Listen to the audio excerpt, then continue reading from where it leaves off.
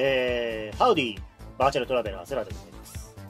ちょっとね、タイトルにあるように、まあ、由々しき事態が起こっているので、まあ、自分なりの考えをまとめながら、どんな事態が起こっているのかというのを、えーご紹介したいと思い、こうやって録画をしている次第でございます。今回真面目な話です。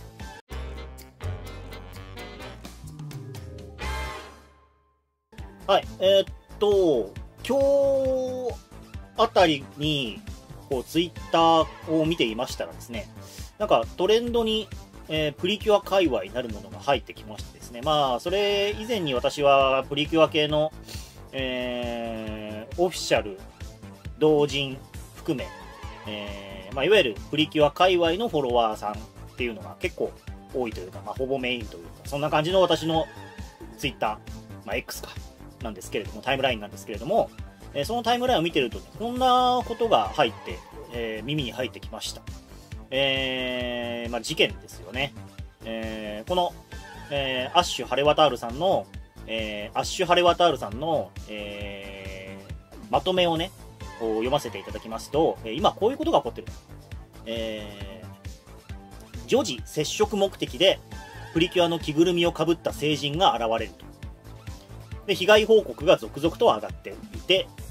性犯罪に利用されるプリキュア。過去最大のプリキュア炎上騒ぎとなる。ついにプリキュア公式関係者が浮き出す異例の事態に発展する今ここって感じなんですけれども、えーと、何が起こってるのかと言いますとですね、えーこちらのポスト、えー女たちのデータベース広場さんのポストですね、えー注意喚起、えプリキュアの人気キャラクター着ぐるみで、え女児と触れ合う女装おじさん発生中、え場所は国営ひたち海浜公園かということでございまして、えー昨日はかなり良かった。女児が抱きついてきた。抱っこした。ませた女児。公式と間違われた。などなど、えーこの方今現在鍵垢になってるそうですけれども、まあ、こんな感じでつぶやいていたそうです。はい、えー着ぐるみはオークションで購入した模様現在からとは鍵ということでございまして、まあ、画像を見ていくとねこんな感じでえー、ヒカルさんというね、えー着ぐるみコスプレをメインとする方なのかどうなのかはちょっと分かりかねるのですけれども、まあ、プリキュア界隈ね、同人誌の即売会とか行くと、結構こういう着ぐるみで、えーコスプレをされる方っていうのは多いんですね。えーなんですけれども、この方はね、そういう、ね、純粋に楽しむ目的なのかどうなのか、ちょっと本人、ね、鍵垢になっちゃってるんでちょっとわかんないんですけれども、えー、鍵垢になる前のスクショですね。えー今日はそれほど暑くなかったのでお出かけしました。スカイ大人気でグリーティングめっちゃ楽しかったです。男の子が多くて時代の流れを感じましたという話で、まあこうやってね、自分の、えーキュアスカイのコスプレで、えーかつ顔を完全に隠した、まあ、いわゆる着ぐるみコスプレをして、え日立海浜公園に遊びに行って、えー 自己グリーティングを。もう呆れて笑いしか出てこない。呆れた笑いしか出てこないけどね、まあ、自己グリーティングをしていたという、えー厄介が出た話ですね、はい。えーでまあ、えーこういう人であると。今日はネットフリーまで買ったアースマジックでおかけジョージっぽい。まあ、これに関しては私もね、大体こんな感じで平日とか、まあ、お出かけすることもね、私自身もこういう感じでやることあるんで、まあ、これに関しては、あの、いいとも悪いとも、私の口からは言えない、言える立場にないんですけれども、うん、ね。えーあとは同じく発掘スタジオ、女児服画像、体操服とすく水は趣味、えピンクのスーツはアースマジック、全体的にメイクが薄いけど、女児服だからいいのかなと。えーで、えーこれが、一連の、その、グリーティング、ね、あの、ノラグリーティングをした時の、えー感想、彼の感想ですね。えー彼、彼女の感想ですね。えーグリーティングめっちゃ楽しかったですね。ヒーローだから子供たちの夢を壊さないよう気をつけました。えー昨日はかなり良かったですよ。女児が抱きついてきたり抱っこしたりしました。グリーティングは着ぐるみの醍醐味だと思います。えそうかもしれません。プリキュアでも最近コスメを始めましたが、プリマジはちょっとマセた女児が見ているのかも。イオンに行ってゲームをやっている女児を見たいですね。ーありがとうございます。公式何度か間違われました。ということでございまして、まあそういうことを言っている人が出たぞと。ね。えー気をつけろというようなことを言っております。ちょっとしばらく自分の感想を一旦置いといて、事実を述べさせていただきますね。えー、で、その話を受けて、まあ、もろもろ動いておりまして、まず、広がるスカイプリキュアの公式で、えー、ファンの皆様へお願いという文章が出ております。え、ファンの皆様へお願い。昨今、一般の方による、え、非公式グリーティング活動、営業活動、一般の方へのお声掛けや接触行為などが見受けられます。えー、作品公式と誤認させるようなプリキュア等を模した紛争による、え公共の場所での上記活動はお慎みいただけますようお願いいたします。え今後ともプリキュアシリーズへの応援を何卒よろしくお願い申し上げます。という声明を、え、広がるスパイプリキュア公式さんが8月9日、えー、に出しております。午後6時ですね、18時。はい。で、同様に東映アニメーションの公式からも声明が出ております。こんな感じです。えー、東映アニメーション公式の声明、ファンの皆様へのお願いと。えー、昨今一般の方による公式ユーティング活動などが見受けられます、えー、公式と誤認させるような弊社キャラクター等を模した、え紛争による、え公共の場所での上記活動を締めてあげますようお願いいたします。今後とも、えー、国のご縁を何卒よろしくお願いします。えー、まあ、広がるスカイプリキュア公式と東映アニメーション公式の違いは、まあ、広がるスカイプリキュア公式はプリキュアと明言しております。プリキュア等を模した紛争によるって明言しておりますが、東映アニメーション公式の方は弊社キャラクター等を模した紛争によるという、えー、風に、えー、書いております。ので、まあ、あくまでプリキュアだけじゃなくて、単純に、その、コスプレをして、ね、えー、キャラクターのコスプレをして、ね、紛争をしてですね、えー、公共の場所で、えー、非公式によるグリーティング活動などは、えー、やめろと。おつし、お慎みいただけますようお願いいたしますって書いてありますけど、公式がこう言ってるってことは、これはかなり強く、やめろって言ってるのとイコールですからね。公式は絶対そんなね、あの、乱暴な口調でやめろお前なんて言えないけど、言えないけど、これは絶対そういうことなんで、あのー、まあ、私のチャンネルでね、私の動画をよくこう見ていただける方の中には、こんなことをするような人はいないと私は信じておりますけれども、もし、えー、そういうことをしている方が、まあ、いらっしゃったら、その方が私のこの動画を偶然ね、今回のあのタイトルで検索かけて見つけたってなってるんであれば、今一度考え直してほしいですね。はい、で、これを受けてさらに、えー、現場となった日立海浜公園私、茨城県出身でして、日立海浜公園はあの地元なんですよ。なので、ちょっと他人事と思えなかったんで、ついついこういう動画を撮ってるんですけど、日立海浜公園さんも声明出しておりますが、こちらですね。国営日立海浜公園さんからの声明ですね。えー、っと、こちら、ちょっと私隠れちゃって、あれなんですけども、読ませていただきます。えー、っと、この度、撮影等のルールにおきまして、以下のルールを追加しましたので、ルールとマナーを守ってお楽しみください。えー、追加事項。もうこれを受けて追加されました。コスプレ衣装を着用した撮影は、個人やグループで楽しむ行為であるため、他の一般のお客様へのお声掛けや接触はご遠慮ください。お客様の安全な公園利用のため、防犯上、顔が確認できない被り物及び特殊メイク、鼻、目、口などの顔の一部を覆うメイク、えー、覆面、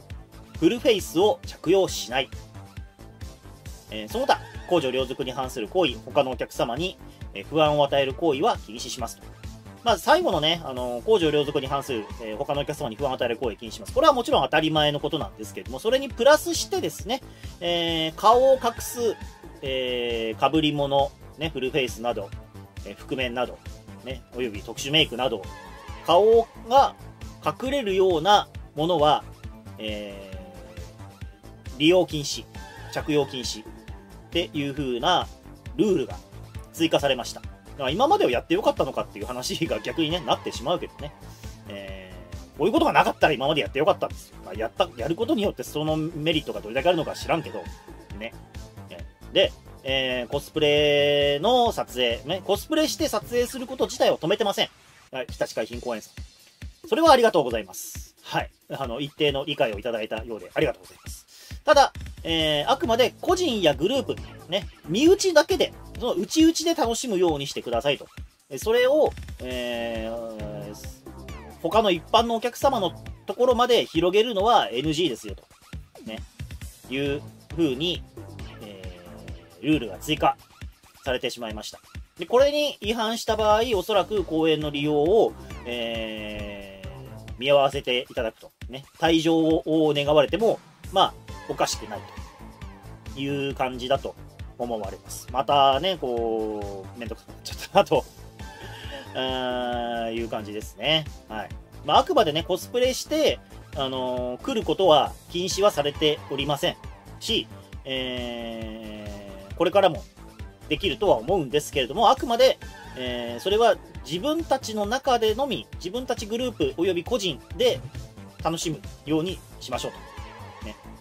え、第三者に声かけたり、えー、勝手にね、握手会始めたりとか、撮影会始めたりとかするんじゃないよっていうことですね。まあもちろんその、個人で楽しんでいて、えー、自分から行くんじゃなくて、こう、相手側から、すいません、1枚写真撮ってもいいですかって声かけられたら、それはもちろんいいと思うんだけど、ね。それは快諾していいと思うんだけど、こっちから行ったりとか、いうのは、まあ、言語道断とったところでしょうかね。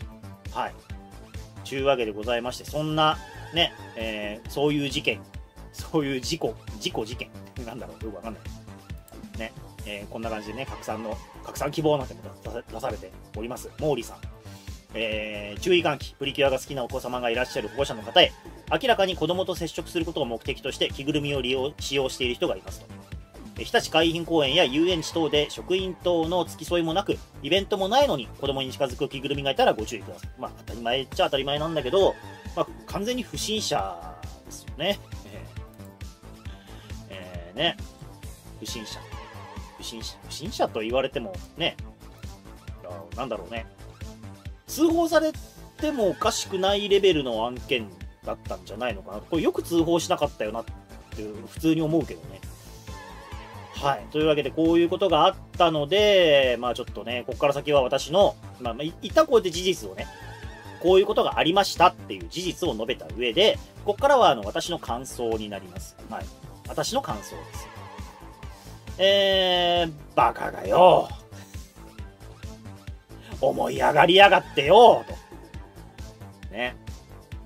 あのー、おめえのせいでやりたいことを制限されるじゃねえか、と。私は非常に今憤っております。この、こいつのせいで、ね、えー、あらゆることが今後、えー、冷遇される時代というのを、ね、やってきますよ。間違いありません。間違いありません。えー、まあ私はね、こういう見た目を、まあ、YouTube 上ではしておりますが、一応リアルでは普通に男性です。まあ声がもちろん男性だからね、皆さん分かってると思いますけど。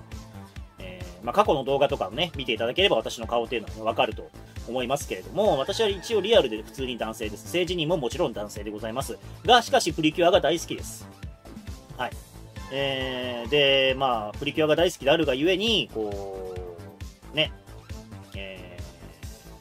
ー、イベントに行くってことは、まあ、最近はね、まあ、コロナの影響とかもありな、ありつつ、こう、減ってきたは、減ってきたし、まあ、そんなにそもそもね、外に出て、あの、こう、ウェイって騒ぐようなタイプの人間でもないので、比較的引きこもりがちなオタクなので、まあ、自分のこう自宅の範囲と、まあ、ちょっとね、ちょっと外に出る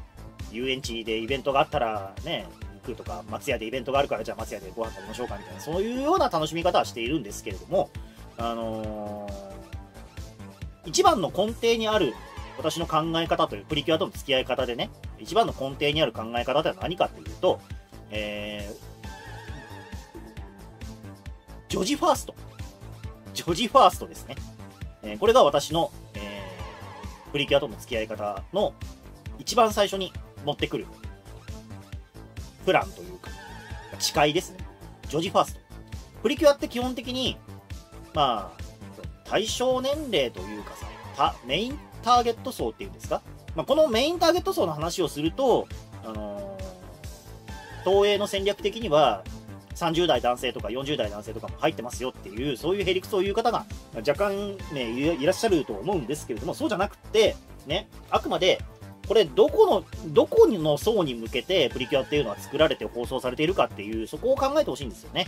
えー、プリキュアっていうのはあくまで子供向け作品でございます。はい。えー、で、それを見るところっていうのは未就学児をターゲットにしております。まあ、小学生以下でね、え幼稚園児